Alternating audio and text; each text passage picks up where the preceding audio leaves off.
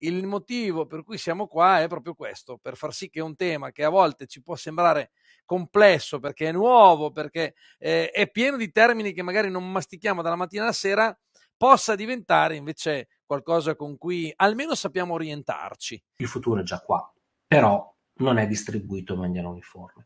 I soldi non sono, vi- non sono, veri, non esistono soldi veri, non ci sono soldi veri, non, es- non sono veri soldi. I soldi sono convenzione sociale con cui noi decidiamo di misurare il valore. Non è un'evoluzione che è un altro passettino in avanti che viene fatto da questa tecnologia è una rottura, è uno spezzare il ponte e ricominciare da un'altra parte con degli assunti completamente diversi. E uno di questi assunti è, ragazzi, i soldi non sono veri. Cioè, noi ci crediamo perché fanno parte della nostra vita, ma non sono reali. È pseudonima, non è anonima completamente, pseudonima. Non puoi sostituire, scambiare, fare dei sotterfugi dei magheggi con Bitcoin perché c'è la blockchain che dà fortissime garanzie in questo senso.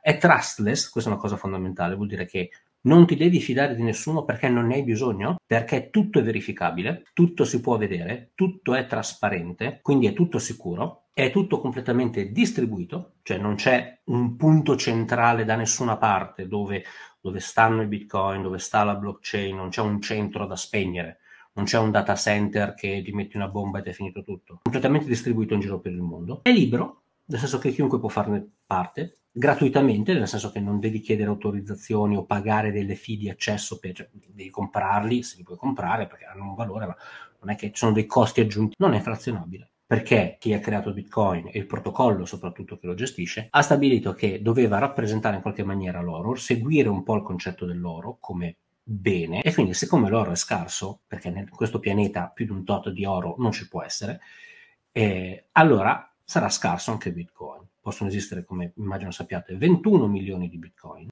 15.000 nodi, nessuno sa dove sono di preciso. Questo è bellissimo perché non si possono spegnere tutti e 15.000 nodi contemporaneamente. E finché ce ne saranno due o tre in piedi, la rete va avanti e non c'è modo di farla fuori. Dire a tutti quanti che questa roba qua c'è, esiste, funziona. Uh, funziona al contrario di quello che leggete sui giornali la maggior parte delle volte e ha delle potenzialità enormi, ma non perché, come dire, cioè la cosa da dimostrare per me è che questa roba qua non è fuffa, non è, come dire, il, il sale magico della Vanna Marchi, non è un modo per far soldi velocemente in fretta, attenzione, è una cosa diversa, è proprio un cambiamento epocale, secondo me va inquadrato in questi termini qua. Quindi nasce Bitcoin, per sostenere Bitcoin, quindi una valuta unica mondiale, c'è questa tecnologia che si chiama blockchain, che è il motore, che permette di far sì che, che i Bitcoin esistano, che, che oggi noi ne parliamo, che li possiamo utilizzare e che li possiamo scambiare. La blockchain è composta da 15.000 nodi sparsi in tutto il mondo, contenenti le stesse informazioni e quindi ne rimanesse anche solo uno, tutto ciò che è contenuto è salvato.